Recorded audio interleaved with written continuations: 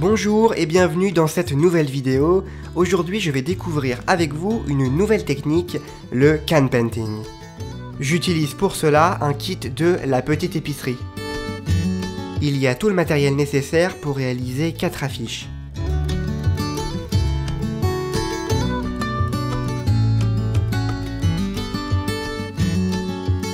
Voici le mode d'emploi et les 4 affiches. J'en choisis seulement deux pour cette vidéo. Dans le kit, il y a 12 cannes en plastique. Je choisis les couleurs et avec la lame, je vais couper des fines lamelles.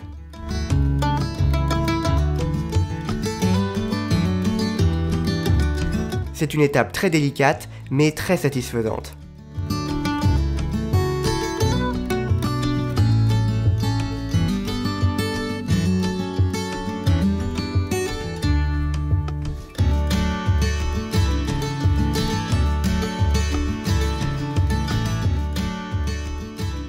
Pour gagner du temps, j'en coupe 3 à la fois.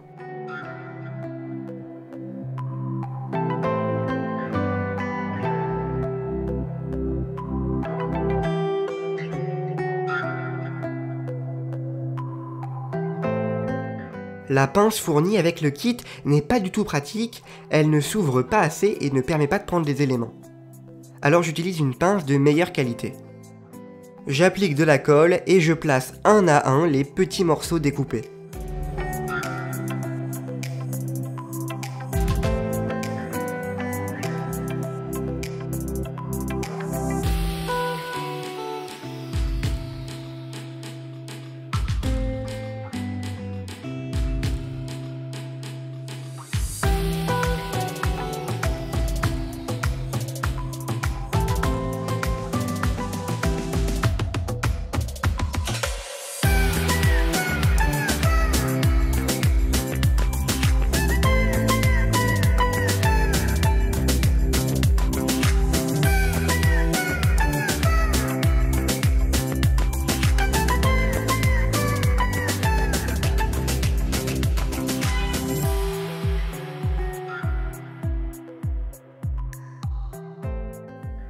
Ça donne un effet de relief qui est plutôt joli.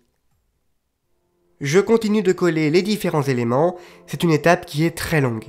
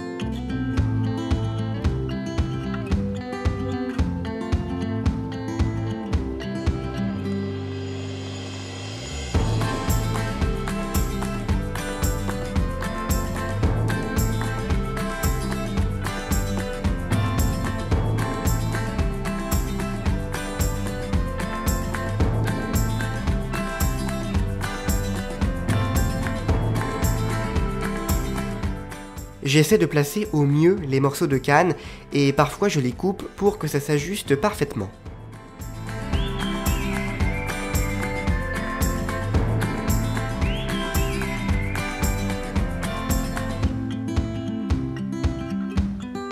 J'ai voulu coloriser les lettres avec un feutre tombeau, mais le pigment n'accrochait pas puisque c'est du carton un peu plastifié.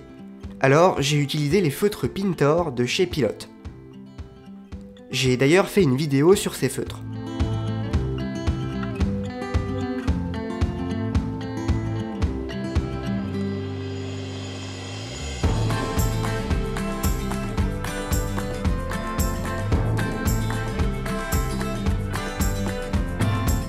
Je fais pareil avec le feutre rouge.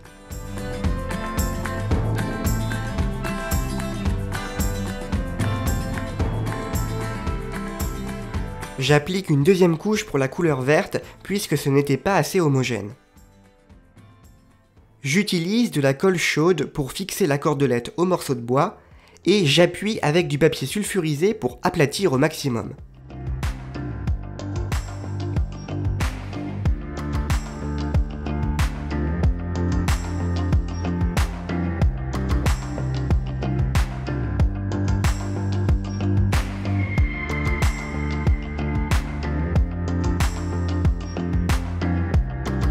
Et je colle les morceaux de bois entre eux.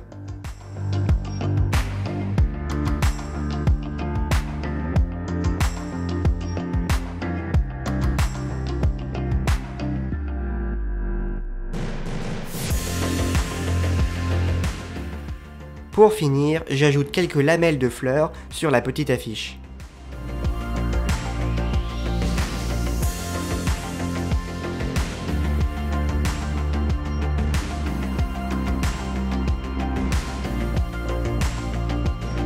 J'aime bien cette technique, le can painting, qui se rapproche, je trouve, du diamond painting. C'est plutôt relaxant à faire, mais c'est surtout très long. J'espère que cette vidéo vous a plu, n'hésitez pas à vous abonner et à activer toutes les notifications. Boostez votre créativité avec Creative Fabric. Salut tout le monde